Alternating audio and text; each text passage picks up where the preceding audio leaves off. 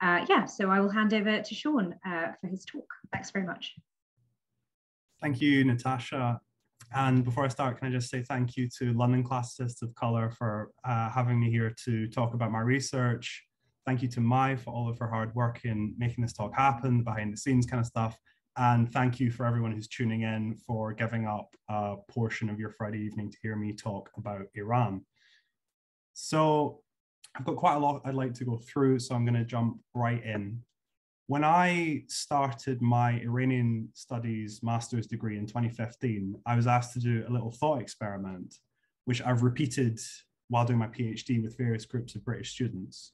I got them to write down two headings Iran and Persia, and then to just basically write down what their first impressions were to these terms because I wanted to see what stereotypes are associated with them. How do they cross over? Do they cross over?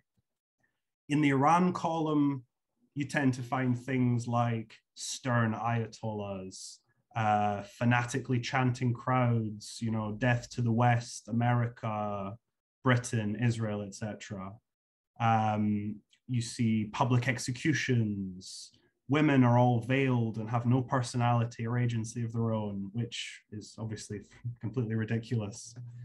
Um, in the Persia column, meanwhile, we find often some kind of predictable terms Persian cats, carpets, Persian food, but also some more intangible items decadence, luxury, oriental, the harem, aspects of fantasy, and that really made me kind of um, kind of question what what stereotypes are current in British society about Iran, about Persia.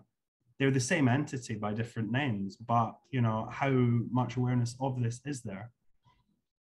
And when we're looking at this entity, this Iran, this Persia, the stereotypes go back an incredibly far distance into the past. So I'm just going to share my screen and get some slides going.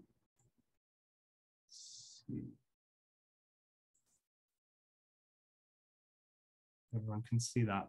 So the stereotyping of Iran begins almost 2,500 years ago with the Achaemenid Empire, which has often been referred to as the world's first superpower. It was the largest land empire of its time. And yet, for such a large and powerful entity, its historical reception has been defined largely by its interaction with this obscure little corner of it here in the West, its conflict with the Greek city states. Now, for the Persians, this conflict was a border war. It didn't define the empire, and certain rebellions in Egypt and Mesopotamia were far more detrimental to its overall cohesion. But for the Greeks, for Greek identity, this was key. This confrontation and indeed victory against this larger power crystallized into the cornerstone of Greek self identity. These views crystallized over the following centuries.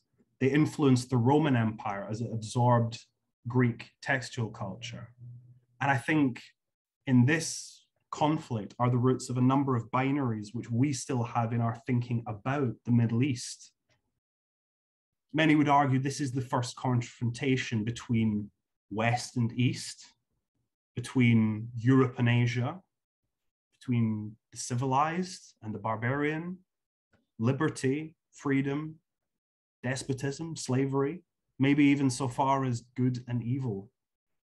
You know, the hyperbole of these terms and the effect which these binaries have on our perceptions cannot be overstated as much now as then. So my initial research aim in my thesis was to identify whether these texts, though they're heterogeneous in terms of style, in terms of genre, and they're produced over a span of about a thousand years by Greek authors, by Greek authors writing under the Roman Empire, and by Roman authors, whether these texts adhere to a common set of stereotypes of the Persians. I believe that they do. So the most prominent stereotype relates to Persian kingship. Much of the Persians is defined by their monarchy which the Greeks see as absolute, as tyrannical. They have this misconception that the Persians see their kings as gods, a bit like the pharaohs, which is not accurate. It's much more like a medieval monarchy where God appointed the king to rule on earth, but the Greeks have their own ideas on that. They see the Achaemenid king as the master of all his people and everyone else from the lowest peasant up to his courtiers and his aristocrats, even his family members, are but slaves to him. And additionally, they characterize his rule as arbitrary, that the king's whim becomes reality, no matter how spurious. So, though the Achaemenid Empire, it's not a generally well known entity in the West, in Britain, in the modern world, the names of some of its kings have filtered into the public consciousness. Cyrus, Darius, Xerxes, although I would say that they are not known in the West primarily through images such as these of stateliness and elegance, but rather through images such as these. This fantasy Xerxes from the film 300. Yet I believe that these images are perfect for discussing the other tropes which I identified because they encapsulate all of them. This film has reproduced the Orientalist tropes of the ancient Greeks and Romans.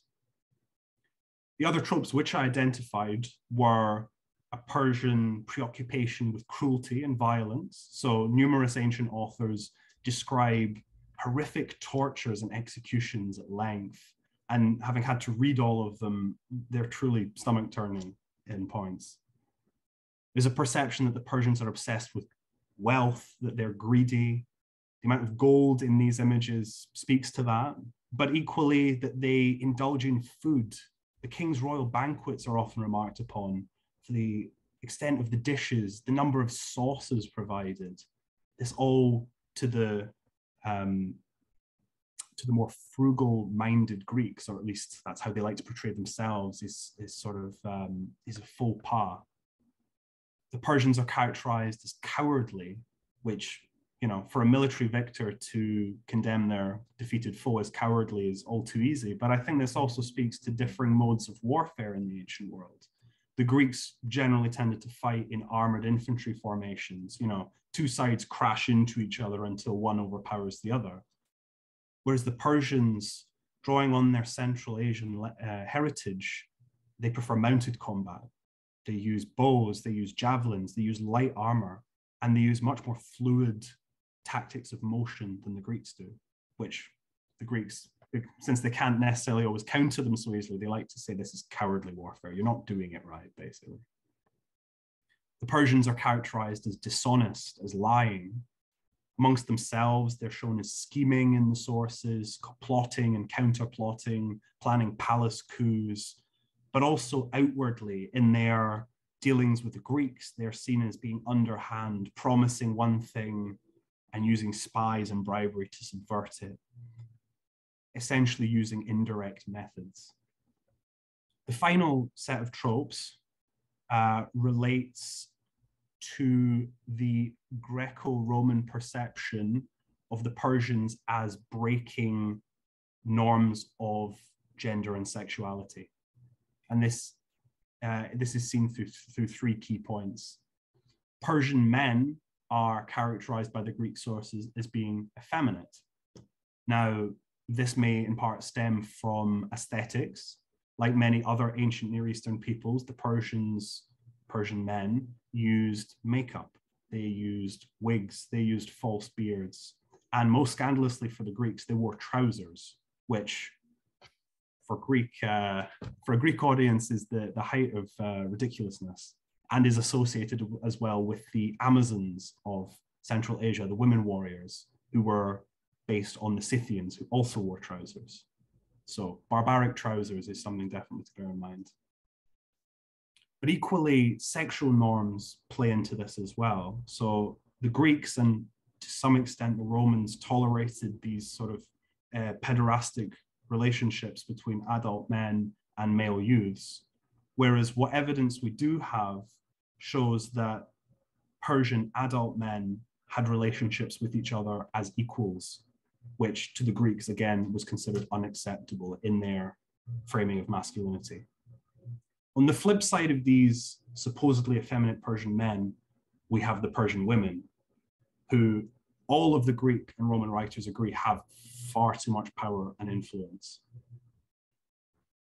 We see this in descriptions of the Achaemenid harem, where the queens, the princesses, the queen mother, the concubines are all constantly trying to exert their influence over the reigning king to get their own son on the throne after him. And they're also blamed because they these women are often in charge of the education of the Achaemenid princes. They are blamed for feminizing Persian men in the sources. The final point which plays into this trope is the presence of eunuchs within the Achaemenid court and its bureaucracy. So these are these people are a constant source of anxiety for the Greeks because they don't fit into the typical gender binary and the stereotypes attaching to them is that they are unscrupulous, untrustworthy, they are constantly manipulating things behind the scenes. So taken all together, uh, Persian gender and sexual norms are considered entirely atypical to those of Greece and Rome. So to move away now from the ancient periods, we have this rift of knowledge, of comprehension. With the fall of Rome, in the medieval period, Persia becomes a land of myth in large part for much of Europe. It's remembered only vaguely through biblical references to Cyrus or Ahasuerus. Fragments of the classics suffuse the culture, but it's hardly what we would call history, and they're often disseminated in more culturally accessible uh, methods, such as mystery plays focusing on Mark Antony or Julius Caesar, for example. The Renaissance, however, brings Persia back into sharper focus the rediscovery of the Greco-Roman texts, which ironically had in large part been preserved by Arab and Persian scholars when the Christian church banned them, sets the foundation of emerging education systems in Europe as the classics. They become the foundation of the school system. In this country, the public school system. And their weight is felt well into the 20th century and certainly even today just as Persia is coming back on the radar, the Safavid Empire comes to power. We can see in this map, it sort of, it occupies much of um, the heartland of the old Achaemenid Empire, and we can also see it starting to resemble more the borders of the modern Iranian state as well. This Safavid Empire becomes a tantalizing goal for European delegations. They're searching for lucrative Silk Road connections, for trade, but also for a potential ally against the other Middle Eastern superpower at this point, the Ottoman Empire, with which a number of European states are in conflict, and which the Safavids are also in conflict with through much of their history. Now, the English are relative latecomers in this uh, attempt to, to reach Safavid Persia and make uh, diplomatic contacts. The first person to successfully, to some extent, do so is the merchant Anthony Jenkinson, who in 1561 arrives at the court of the Safavid Shah Tahmasp, bearing a letter from Elizabeth I. What's really striking about this letter is it's not written to a Safavid Shah it's not even written to an Islamic ruler or a medieval ruler. It's written to an ancient Persian king because this is the context that they have in England at this point. So I'd like to just read um, the introduction to this letter. It's addressed to the right mighty and right victorious prince, the great Sophy. This is the one concession to you know contemporary history. Sophy, Safi, Safavid. They've garbled it somewhat emperor of the Persians, Medes, Parthians, Hyrcanians, Carmanians, Margians, of the people on this side and beyond the river Tigris, and of all men and nations between the Caspian Sea and the Gulf of Persia. Needless to say, this is in large part a failure. Firstly, Tahmasp identifies Jenkinson as a Christian and has very little interest in forming an alliance with some obscure and dreary island halfway around the world, when he considers himself the most powerful ruler on earth at the time. Many of these terms, Medes, Hyrcanians, etc., these are archaic Greek geographic terms, would have been completely unknown to the Safavid era Persians.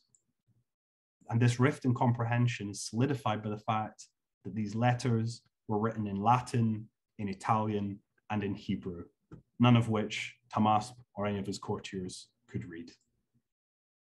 So this initial effort is well, certainly a failure. Jenkinson's own writings on Persia also kind of hint at the beginning of something which will become more influential in later accounts, which is a decline narrative. So as he travels in Persia, he makes sense of things by tying to the classical past. You know, this heap of rocks was once the fortress of Alexander the Great, or, you know, this cave was where, I don't know, Cyrus hid as a child. Um, and seeing the contemporary Safavid Persia, it causes disappointment. It's a decline. And so I call this the decline narrative. And you see it at various stages in Persian Iranian history that at whichever point it's taken, things were always more glorious in the past and have always decayed to the present. The Safavid Empire also never truly becomes a high priority for the emerging British Empire. In the 17th and early 18th century, its wealth is declining. The overland Silk Road is declining as seafaring becomes more advanced and more lucrative.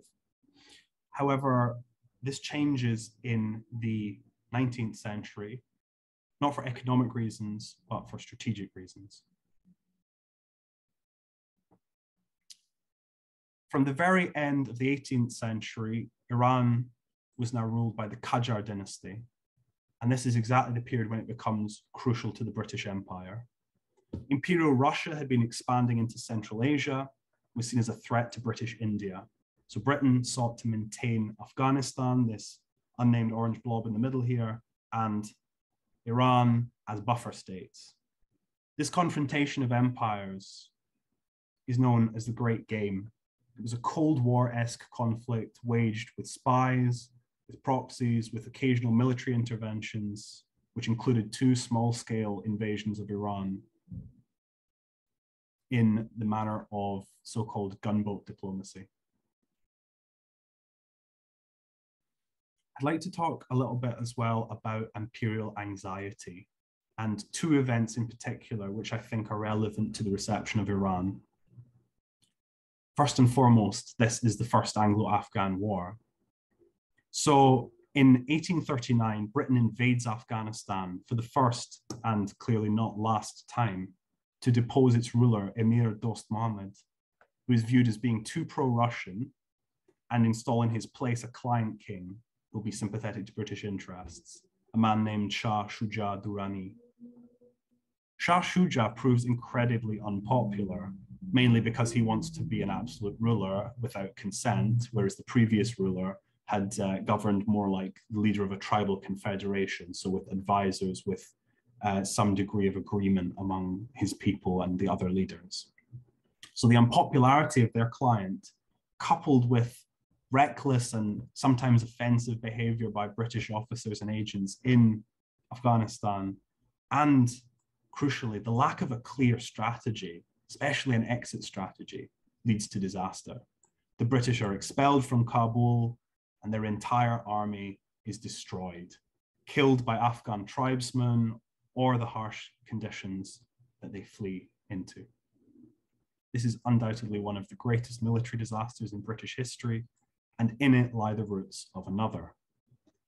Unlike in this propaganda painting we can see here, with all of these uh, heroic um, and crucially white British soldiers, the vast majority of the British army which invaded Afghanistan was made up of Indian troops, both Hindu and Muslim, who, as they fled, were abandoned by their British officers and left to freeze, starve, be enslaved, or cut down by Afghan bullets.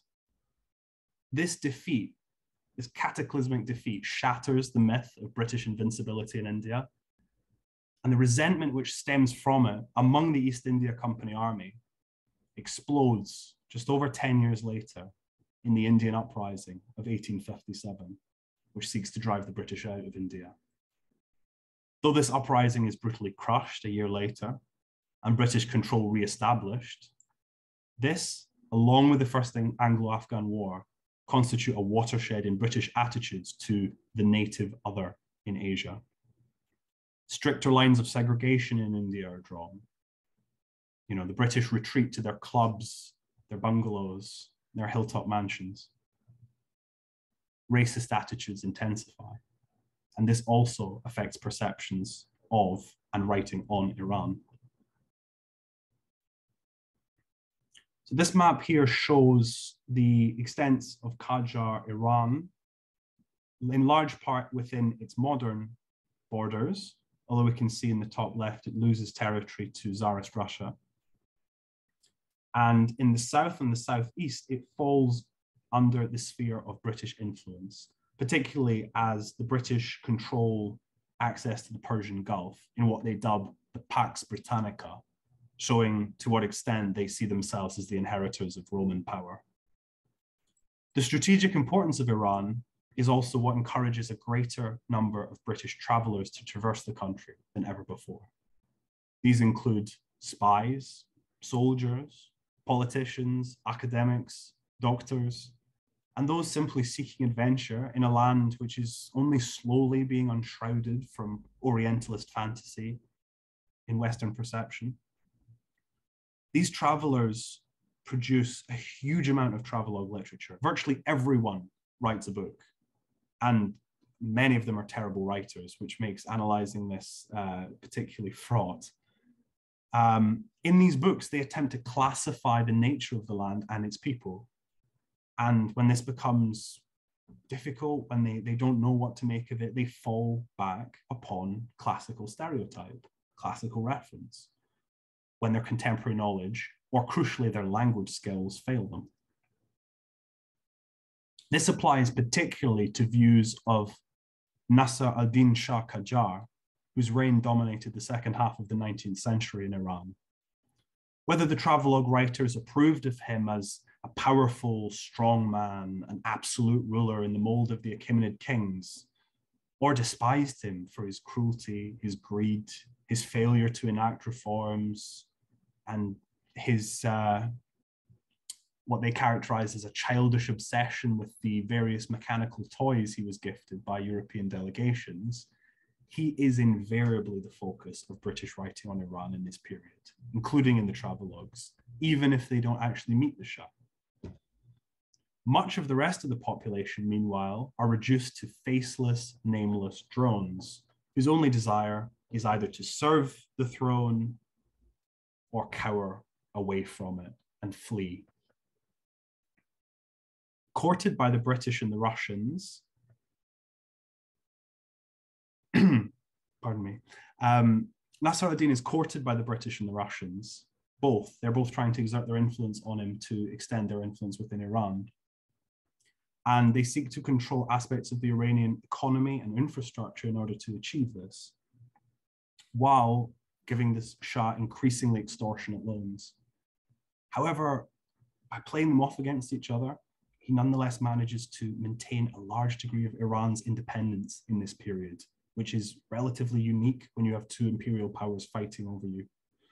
So I would argue that Iran was to a large degree colonized, but it was economically colonized rather than territorially colonized. The travelogues are also very preoccupied, along with the monarchy, with the aesthetics of Iran, with the art, and with fantastical uh, versions of Iran, which in large part never truly existed. The harem is a key example of this. So these paintings demonstrate the Orientalist expectation of the harem, a sphere to explore sexuality, sensuality, decadence, and the staging for any number of uh, novels and plays and operas. The problem with this is that when your expectation is rooted almost entirely in fantasy, reality becomes disappointing. Here we have the harem of Nasser al-Din Shah Qajar. And though Nasser al-Din certainly had concubines, the harem never truly was about sexual indulgence. Its priority was always the guarding of the royal household and the security of the royal bloodline, deciding who would sit on the throne next and who was legitimate and who was not. So these people are the Shah's mother, his sisters, his wives, his concubines, his children. However, this elicits uh, from travelogue writers some very damning uh, verdicts on Persian women. For example, Isabella Bird, of the writers I looked at, the only woman, uh, criticized the slovenliness, slipshodness, and generally tumbling to pieces look of the average Persian woman, while gushing about the radiant visions of uh, European missionaries that she occasionally came across in the country. Think the biggest problem with using stereotype as a guide to any country or any people is that it obscures change, the capacity for change. In 1891, George Nathaniel Curzon, who would later become a very unpopular viceroy of India in the early 20th century, wrote of Iran that there is not a single man in the kingdom who dare venture either his voice or his position against the sovereign.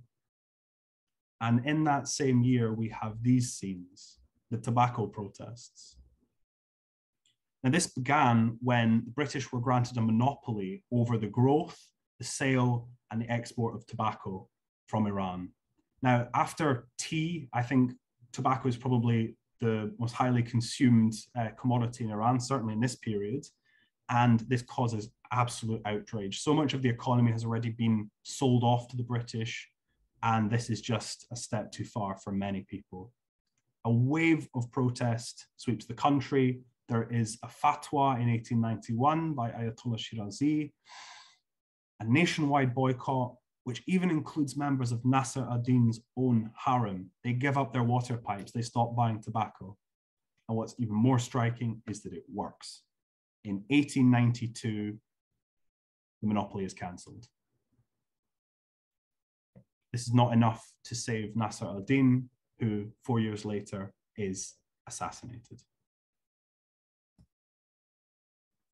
So despite the clear ability of the Iranian population to mobilize in opposition to an increasingly unpopular monarchy, British commentators fail to really appreciate this. They see this as a blip, particularly because it involves their own economic interests. They think that this has been cooked up by Russia or cooked up by Islamic fanatics, that this is a, a bump in the road of what is otherwise an unchanging landscape in Iran, politically at least. This leads them to completely fail to anticipate the constitutional revolution, which breaks out in 1905, which relegates Muzaffar ad-Din Shah, the son of Nasser ad-Din, to the status of a figurehead monarch, though his successor does manage to claw back power from the newly established Majlis, the parliament, he manipulates differences between the secular liberals and the religious factions within the constitutional movement. This revolution, nonetheless, demolishes the idea of the unwillingness of the Iranian people to influence their own political system and to decide what kind of country theirs will be. And yet, British foreign policy does not change. Britain continues to view the support of a strongman ruler as the only option for stability in Iran, as the only option for furthering their interest in Iran. Certainly not unique in British foreign policy, neither then or today, but in this instance, it is underpinned by belief in the eternal nature of Persian monarchy and the inherent subservience of its people to that monarchy. You cannot have one without the other. British back a coup by this man, Reza Khan, encouraging him not only to take power, but to take the throne rather than the office of president, which he originally aimed to have. His reign brings in a period of rapid modernization and industrialization, but also coupled with a refocusing on Iran's ancient past, its pre Islamic past, which is an anathema to much of the Islamic conservative population. And perhaps unwittingly plays into expectations of Western writers. You know, he orders the name of the country to be changed from Persia to Iran in 1935 to get away from these associations with decadence, with the Oriental. And yet he's privileging a kind of history which the vast majority of the people in his own land are not aware of and do not have access to be aware of. So it's it's kind of um, it's a bit in two directions really there. And again, the problem with having a strongman ruler in place is that he can change his mind on a whim. So as the 30s progress, Reza Khan, Reza Shah grows closer to Germany. He's trying to get out from underneath British influence, which leads in 1943 to a joint British Soviet invasion of Iran. Not many people know that Britain has invaded Iran in the 20th century, but yes, here we are. Winston Churchill meeting the new Shah, Mohammad Reza, the son of Reza Shah. A Swiss educated playboy is now expected by the British to be their strongman client in Iran. Sorry. In the years following the Second World War, British oil revenues from Iran constituted the largest source of overseas income. They propped up a rapidly crumbling empire and were a source of intense anxiety. This was overseen by the Anglo Iranian Oil Company, known today as British Petroleum, BP. Attempts to nationalize the oil on the part of the Iranians to gain a more equitable share of the vast profits that were being extracted from their soil led to the overthrow of Iran's only democratically elected leader, Mohammad Mossadegh, in a British US coup in 1953. The post coup reign of Mohammad Reza Shah doubles down on his father's emphasis on the pre Islamic past, spending lavish sums on the celebration of 2,500 years of Persian monarchy at Persepolis, while much of the population continues to live in poverty. He absolutely buys into this image of Iran as eternal and unchanging. He dresses his army as ancient Persian soldiers. He salutes the tomb of Cyrus. He has gone fully for this now. His increasingly unpopular and disconnected regime is underpinned by the fourth highest military budget in the world at this time, which is used primarily to buy British and American military hardware, while the populace who may oppose him are terrorized, tortured, and imprisoned by the brutal Savak secret police trained by the CIA and by the MI6. In 1977, in December, Anthony Parsons, the British ambassador to Iran, sends his annual review to London, in which he warns, though certainly understates, the levels of discontent with the Shah. He highlights the signs of growing dissent on the streets, and he criticizes the disconnect of the ruler from his people.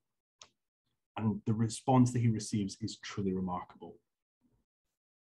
He receives a letter back the following February, so it takes two months from MS Weir at the Foreign Office, who describes the people, describes the Iranians as the epitome of idleness, deceitfulness, corruption, charm, and conceit, and thereby writes off any prospect of Mohammad Reza Shah being overthrown or the end of the monarchy in Iran. And yet, less than two years later, Shah Raft, the Shah is gone. Having studied this topic now for four, going on five years, having read ancient texts, having read Victorian travelogues, having read modern travelogues, it's hard not to believe that stereotyping lies somewhere in human nature. The instinct to simplify, to caricature the other, to make something understandable and to break it down. Equally, I believe this is something which can be corrected through study, through exposure, through an open mind, through a willingness to engage with otherness and not fear it, to see it as something positive and interesting. However, what my research has also reinforced is that when stereotypes become integral to knowledge production, to education, to our histories, to our politics, and to our culture, it blinds us to what is before our eyes. So thank you very much. I'm looking forward to hearing your questions and your comments.